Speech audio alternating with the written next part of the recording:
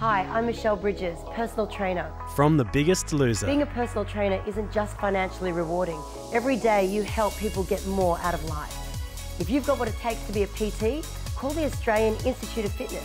With more courses, campuses, and one on one support, they're first in fitness courses and careers and are recognised internationally.